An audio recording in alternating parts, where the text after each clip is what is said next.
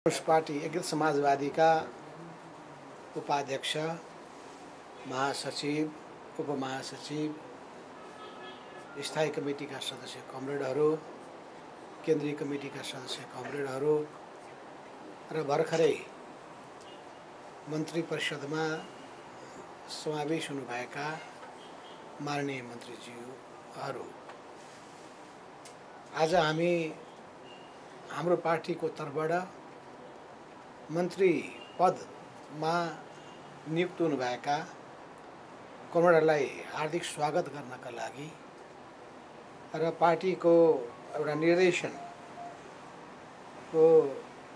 बारेमा उहाँहरूलाई जानकारी गराउनका लागि हामी यहाँ वात्सल्य नेचुरल आइभीएफ आधुनिक चिकित्सा उच्च सफलता दर अन्तर्राष्ट्रिय स्तरको उपचारद्वारा सन्तान प्राप्ति सम्भव छ।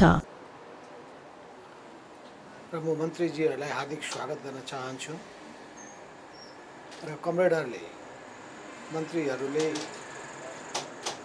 एउटा ठुलो जिम्मेवारी आफ्नो काँधमा प्राप्त गर्नुभएको छ।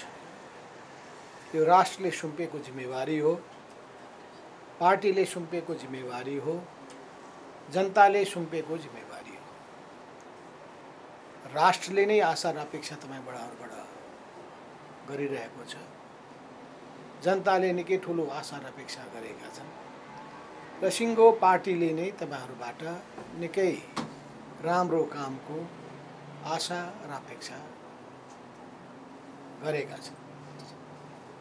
सिङ्गो पार्टीले पार्टी पङ्क्तिले अपेक्षा गरेका छन्। यस अर्थमा तपाईँहरूले जुन एउटा जिम्मेवारी पाउनु भएको छ त्यो अत्यन्तै गहन जिम्मेवारी हो।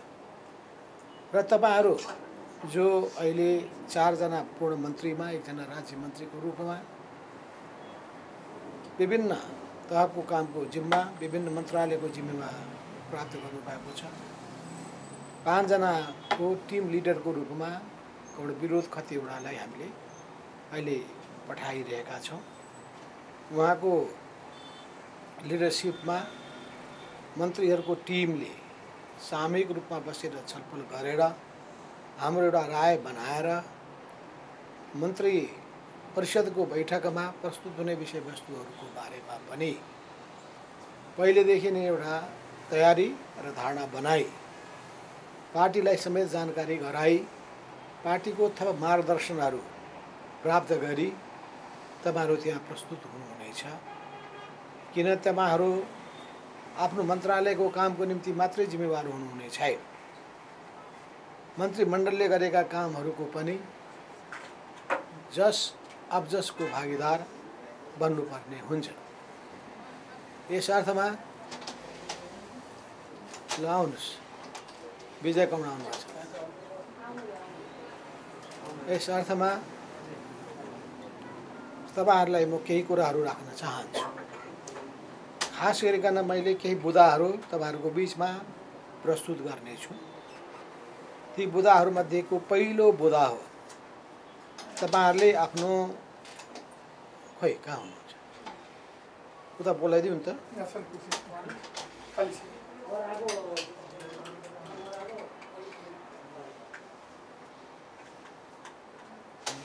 खोइ बोलाइदिनुहोस् न। मोहनजी किन नबोलाउनु भएको उहाँले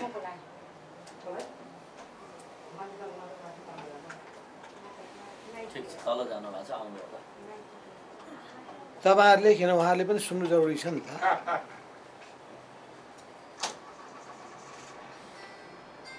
तपाईँहरूले इमान्दारिताका साथ कर्तव्य निष्ठाका साथ आफ्नो काम सम्पादन गर्नुहुनेछ भन्ने मैले र हामीले आशा गरेका छौँ। त्यसो हुनाले इमान्दारिता र कर्तव्यनिष्ठाको भावनालाई सर्वोपरि राखेर आफ्नो कार्य सम्पादन गर्ने कुरामा तपाईँहरूको ध्यान म आकर्षित गर्न चाहन्छु। दोस्रो काम गर्दाखेरि राष्ट्रको हितलाई र जुन संस्थाको जिम्मेवारी तपाईँले सम्हालिरहनु भएको छ त्यो संस्थाको हितलाई चाहे त्यो मन्त्रालयसँग जोडिएको होस् चाहे सङ्घ संस्थानहरूसँग जोडिएको होस् ती संस्थानहरूको हितलाई केन्द्रबिन्दुमा राखेर अनि जनताको हितलाई केन्द्रबिन्दुमा राखेर तपाईँहरूले काम गर्नुहुनेछ। यस अर्थमा राष्ट्रको हित जनताको हित र संस्थाको हितलाई तपाईँहरूले केन्द्रबिन्दुमा राखेर काम गर्नुपर्ने हुन्छ। तेस्रो काम गर्दाखेरि निजी स्वार्थ अनियमितता र भ्रष्टाचार जन्य प्रवृत्तिहरूबाट तपाईँहरू मुक्त हुनुपर्छ त्यहाँबाट टाढा रहनुपर्छ। यो तेस्रो कुरामा मैले जोड दिन चाहेको छु। चौथो कुरा आफ्नो योग्यता र क्षमता र कार्य सम्पादनमा उत्कृष्टताको आधारमा नै कुनै पनि व्यक्तिको छनौट गर्ने र जिम्मेवारी दिने कुरामा तपाईँहरू लाग्नुहुनेछ। र यसरी व्यक्तिको छनौट आफू खुसी आफूलाई हित हुने कुरालाई होइन। ती व्यक्तिहरूको योग्यतालाई क्षमतालाई कार्य सम्पादनमा उत्कृष्टताको पक्षलाई सुनिश्चित हुने गरी व्यक्तिको छनौट गर्नुहुनेछ र जिम्मेवारी दिनुहुनेछ। पाँचौँ बदनामी कमाउने र विवादमा पर्ने कुनै पनि काम कुराहरू तपाईँहरूबाट हुने छैनन् भन्ने कुराको हामीले आशा र अपेक्षा गरेका छौँ। छैठौँ स्वच्छ र सादा जीवन असल आचरण र संस्कारको तपाईँहरूले अवलम्बन गर्नुहुनेछ। त्यस हुनाले यो स्वच्छ र सादा जीवन असल आचरण र संस्कार कुरा बुझ्नुभयो होइन? यो मन्त्रीहरू रक्सी खाएर माथिए बेलुका बेलुका फाइभ स्टार होटलमा गएर रक्सी खाइरहेका छन् र आफ्नो क्लाइन्टहरूसँग बसेर यिनी कुरा गरिरहेका छन् भन्ने कुरा सुन्नु नपरोस्। सिधा कुरा। रक्सी खाने बानी छ भने पनि बानी त्याग्नुहोस्। त्यो त्याग्नुहोस् बरु। त्यो त्यसले फाइदा गर्दैन स्वास्थ्यलाई पनि फाइदा गर्दैन परिवारमा पनि फाइदा हुँदैन समाजमा पनि नाम बदनाम नै हुन्छ र कसैले पनि राम्रो भन् भन्दैनन्। त्यस हुनाले यही हो मौका मन्त्री भइएको छ। आनन्दले पो अब बस्ने हो। पहिले चार पे खाइन्थ्यो भने अब दस पे खाइन्छ भने ठान्नुभयो भने त्यो छुट तपाईँहरू पाउनेवाला हुनुहुन्न। यो एकदम प्रष्ट कुरा छ। त्यसैले मैले आचरणको पक्षलाई त्यो आचरणभित्र रक्सी खाने मात्र होइन दुर्व्यसनको कुरा मात्र होइन अरू आचरणहरू महिलासँग जोडिएका त्यस्ता कुनै कुराहरू सुन्नु नपरोस्। त्यस्तो व्यवहारहरू तपाईँहरूबाट नहोस्। यस कुरामा म जोड दिन चाहन्छु। तपाईँहरूले पार्टीको नेतृत्व र पार्टीले जिम्मेवारी दिएको विभागसँग काममा समन्वय गर्नुहुनेछ। पार्टीको निर्देशन र र सल्लाहलाई केन्द्रबिन्दुमा राखेर तपाईँहरूले काम सम्पन्न गर्नुहुनेछ। विज्ञहरू र क्षेत्र त्यस क्षेत्रका कामका अनुभवी व्यक्तिहरूसँग नियमित रूपमा तपाईँहरूले राय परामर्श लिने चलन बसाल्नु पर्दछ। धेरैको राय सुझावहरू जति धेरै प्राप्त गर्न सक्यो राम्रो हुन्छ र यो राय सुझावको कुरामा पनि अल्मलिनु जरुरी छैन। कहिलेकाहीँ एउटाको राय एउटा छोरमा हुन्छ अर्कोको राय अर्को छोरमा हुन्छ। यस्तो अवस्थामा फेरि क्रस भेरिफिकेसन गर्नुपर्दछ चेक गर्नुपर्दछ र तथ्यको आधारमा सत्यमा पुग्नुपर्ने काम गर्नुपर्छ। तपाईँहरूले पाँच दलीय गठबन्धनको भावना अनुरूप अरू दलसित समेत सहकार्य गर्ने गरी आफ्नो कार्य सम्पादन गर्नुपर्ने हुन्छ। दसौँ कुरा नेता र कार्यकर्ताहरूसँग खास गरिकन सांसदहरू र पार्टीको विभिन्न क्षेत्रका कार्यकर्ताहरूसँग जीवन्त सम्पर्क राख्नुपर्छ। मन्त्रीको कार्य व्यवस्था सबैले बुझेका हुन्छन् त आफ्नो पिएहरू नियुक्त गर्दाखेरि पार्टीले नै सँगको परामर्शको आधारमा सल्लाहकारहरू नियुक्त गर्दाखेरि पार्टीको परामर्शको आधारमा अरू अन्य जोडिएका अनेक पक्षहरू हुन्छन्। ती सबै आफू खुसी आफ्नो ढङ्गले गर्ने होइन। त्यस हुनाले चाहिँ त्यस सम्बन्धमा पनि तपाईँहरूले पार्टीको परामर्शको आधारमा निर्देशनको आधारमा चल्ने कुराको साथसाथै नेता कार्यकर्ताहरूसँग जीवन्त सम्पर्क राख्ने र जायज र उचित कुराहरू र कामहरू तपाईँहरूले गर्नका लागि पछि हट्ने काम गर्नु हुँदैन। कम्तीमा पनि वर व्यवहारको मामिलामा तपाईँहरूले बडो मिठासपूर्ण व्यवहार गर्नु पर्दछ अप्ठ्यारो पर्छ सजिलो छैन। त्यस्तो अवस्थामा गर्न सकिने कामहरू गर्ने हो गर्न नसकिने कारणहरू बताइदिने हो।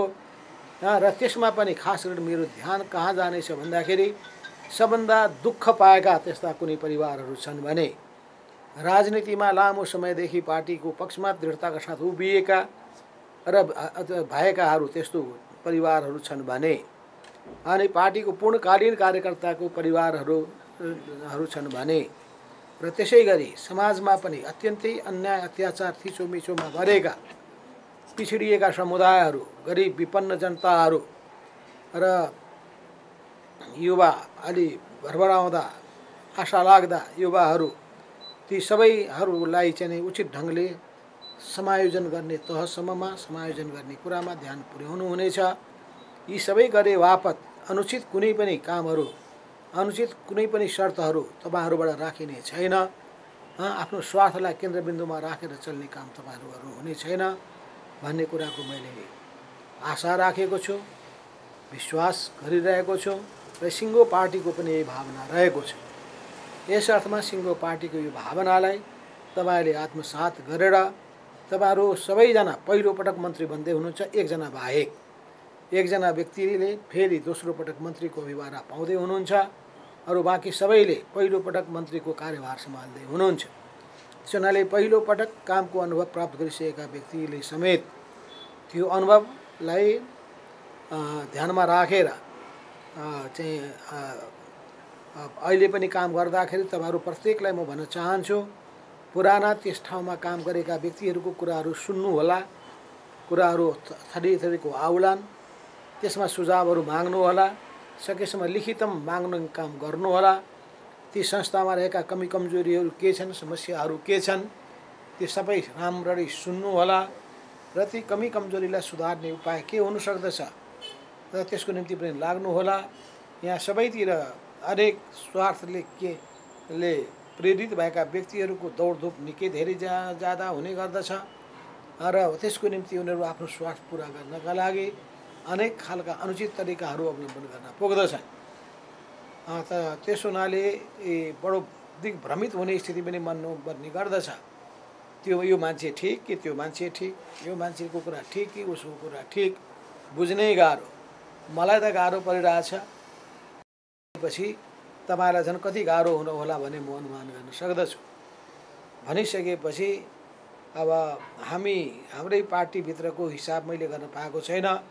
कतियौँ पटक मन्त्रीहरूको अब प्रवेश भइरहेछ मन्त्रालयमा त्यो मैले गणना गर्न पाएको छैन। सुरुदेखि दुई हजार सडचालिस सालदेखिको सँगै जोड्दै जाने हो भने सडचालिस सालको अन्तरिम सरकारमा पहिलो हाम्रो नेकपा मालेको तर्फबाट सहभागिता रहेको थियो र त्यस पश्चात दुई हजार एकाउन्न सालमा हामीले जब अल्पमतको सरकार बनाएका थियौँ दोस्रो पटक त्यो हाम्रो सहभागिता रहेको थियो। हाम्रो नेतृत्वको त्यो सरकारले बडो इमान्दारिताका साथ कर्तव्यनिष्ठाका साथ अ, राष्ट्र जनताको हितलाई केन्द्रबिन्दुमा राखेर आफ्नो कार्य सम्पादन गर्ने काम गरेको थियो कार्य सम्पादन गरेको थियो। त्यसको अहिलेसम्म पनि हामी जनतामा प्रभाव पाइरहेका छौँ। जनताको हामीप्रतिको आशा र अपेक्षा रहिरहेको हामीले पाइरहेका छौँ। त्यसले हाम्रो प्रतिष्ठालाई बढाएको छ। जनताको आशा र अपेक्षालाई त्यसले बढाएको छ। र त्यसै जगमा उभिएर त्यस पश्चात हामीले विभिन्न समयमा सरकारहरूमा मन्त्रीहरू पठाउँदै आएका छौँ।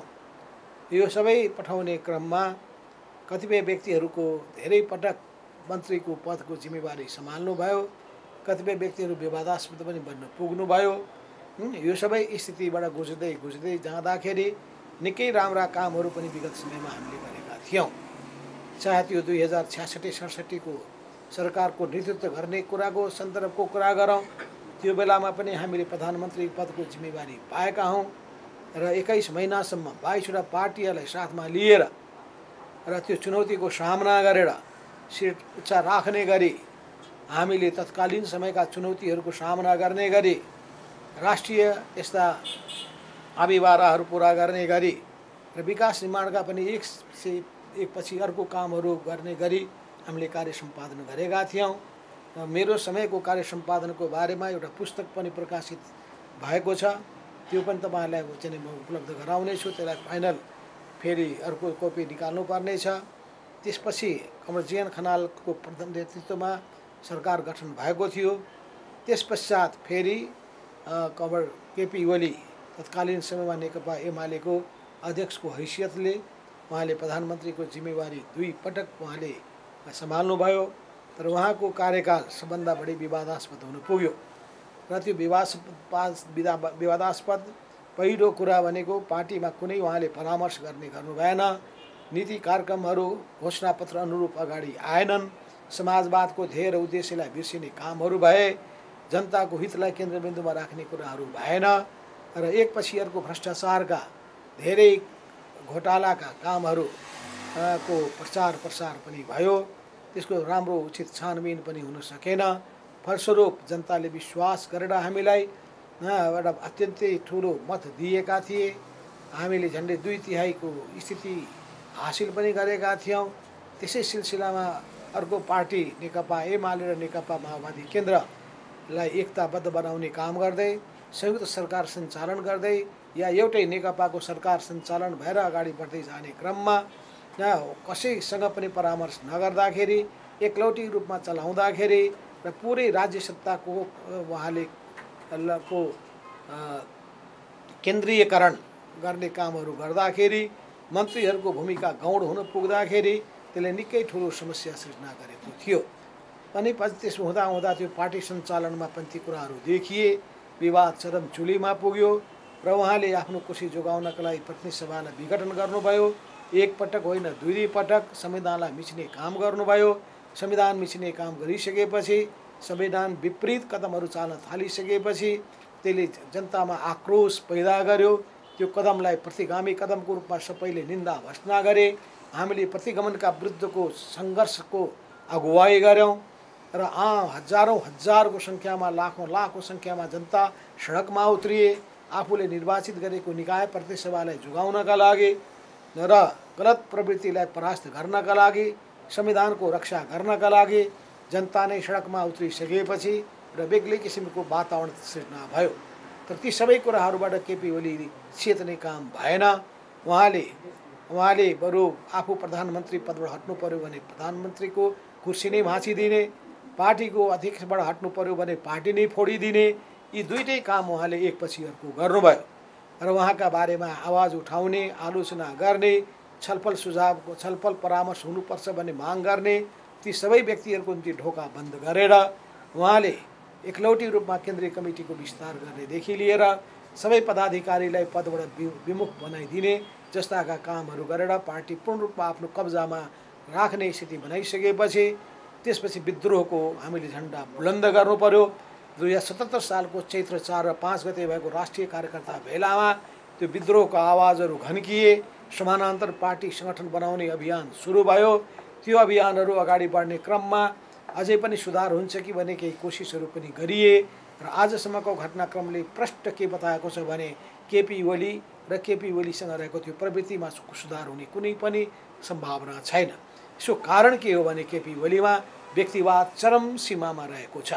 पहिलो कुरा तपाईँहरू सबैलाई ख्याल होस् र केपी ओली पुरै व्यक्तिवादी सोचका साथ कम्युनिस्ट पार्टीको मान्यताका विपरीत तरिकाबाट व्यक्तिगत केन्द्र आफूलाई व्यक्तिलाई केन्द्रबिन्दुमा राखेर व्यक्तिवादी प्रवृत्तिमा पुरै समाज चुर्लुममा डुबेर उहाँले सबै ठाउँमा आफ्नो एकलौटी कब्जा गर्न पुग्नुभयो।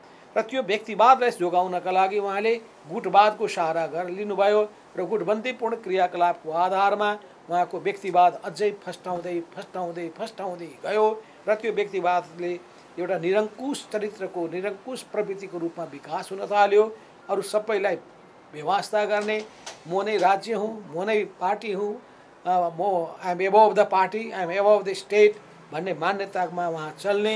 र उहाँको व्यक्तिवादको चरम रूप हामीले उहाँहरूले आयोजना गरेको कथित विधान अधिवेशन महाधिवेशन त्यहाँ उहाँका सबैतिर फोटा प्रदर्शनी र त्यसपछि व्यक्तिवादको नाङ्गो रूप हामीले देख्यौँ सामूहिकताको भावना समाप्त भएको पायौँ र यी सबै यस्तो हुनुको मूल कुरो के हो भने उहाँ मार्क्सवादको मूल सिद्धान्तबाट विचलित भइसक्नु भएको हुनाले र दक्षिणपन्थी उहाँ पुरै आत्मसमर्पणवादी नीति उहाँले अवलम्बन गरेको हुनाले राष्ट्रियताको सवालमा पनि उहाँले लम्पसारवादी नीति अवलम्बन गर्नु पुग- पुग्नुभयो र पार्टीको चाहिँ क्रान्तिकारी धारलाई एकदम कमजोर बनाउँदै पार्टीलाई दक्षिणपन्थी दिशातर्फ लिएर जाने र दक्षिणपन्थी शक्तिहरूसँग साँठगाँठ गर्दै त्यही दक्षिणपन्थी गठबन्धनमा को आधारमा मुलुक चलाउने दिशातर्फमा उद्ध उद्- उद्धत हुनुभयो त्यो सबैले गर्दाखेरि अनि लोकतान्त्रिक शक्तिहरू वामपन्थी शक्तिहरूले हातेमालो गर्नुपर्ने स्थिति बन्यो र अहिले लोकतान्त्रिक र वामपन्थी शक्तिहरू मिलेर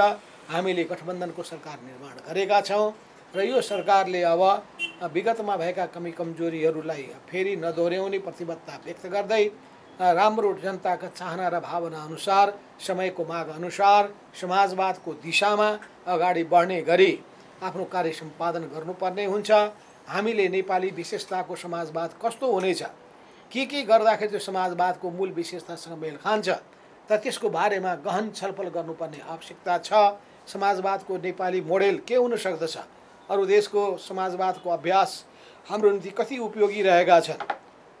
भने समाजवादी मुलुकहरूका र समाजवादी मुलुक मात्र होइन अन्य लोक कल्याणकारी राज्यको मान्यतामा चलिरहेका देशहरूका अनुभवहरू पनि र विभिन्न देशहरूले आफ्नो आफ्नो देशको विशेषता अनुसार कतिपय क्षेत्रमा प्राप्त गरेका उपलब्धिहरू ती सबै सकारात्मक कुरालाई समेत ग्रहण गरेर हामीले नेपालमा नेपालको विशेषता अनुरूप त्यति अनुभवहरूलाई समेटेर अगाडि बढ्न सक्ने हो भने छोटो समयमा नेपाल राष्ट्रलाई यो गरिबी अभाव पछौटेपन अन्याय अत्याचार शोषण उत्पीडनको मारबाट मुक्त गर्न सक्नेछौँ युवाहरूलाई स्वदेशमा रोजगारी उपलब्ध गराउन सक्नेछौँ र नेपाली युवाहरूलाई जसरी खा खाडी क्षेत्र र विदेशमा भौतारिने स्थिति भन्ने गरेको छ अनेक किसिमका चाहिँ यो बिचौलियाहरूको फन्दामा पैसाको चक्करमा फस्ने गर्ने गरिएको छ। ती सबैबाट जोगाउने जिम्मेवारी पनि हाम्रो काँधमा छ। हामी श्रम मन्त्रालयको जिम्मेवारी पनि हामीले नै बोके भएको हुनाले अब हामीले अब यो पैसा लिने र परिवारको हरिबिजो गर्दै हुने यो स्थिति अन्त्य गर्नुपर्छ। र नेपाली कामदारको हितको सुरक्षा गर्ने कुरामा विशेष ध्यान दिनुपर्छ। हाम्रो देशमा पनि राष्ट्रिय पुँजीको विकासमा विशेष जोड दिनुपर्छ।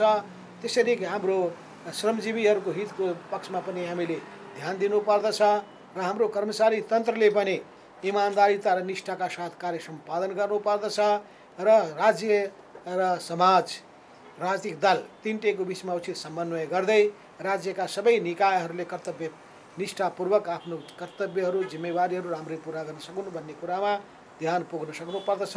यस कार्यमा हाम्रा मन्त्री कमरेडहरूले महत्त्वपूर्ण भूमिका निर्वाह गर्नुहुने आशा र अपेक्षा मैले गरेको छु। यसै क्रममा उहाँहरूलाई फेरि पनि म हार्दिक हार्दिक बधाई पनि दिन चाहन्छु स्वागत पनि गर्दछु र आफ्नो कार्यकाल सफलताका साथ सम्पन्न गर्न सक्नुहोस् कार्यकाल पुरा गर्न सक्नुहोस्। यही शुभकामना व्यक्त गर्दै आफ्नो मन्तव्य यहीँ टुङ्ग्याउँछु। हस्त धन्यवाद।